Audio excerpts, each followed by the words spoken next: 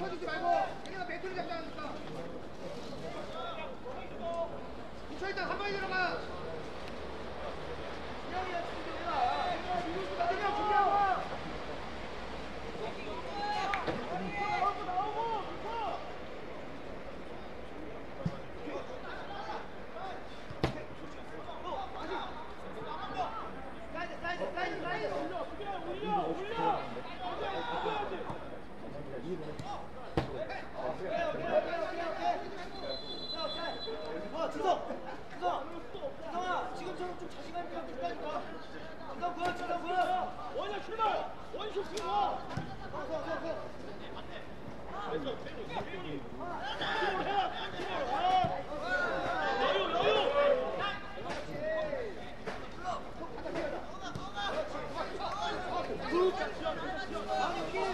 Hallo, hier.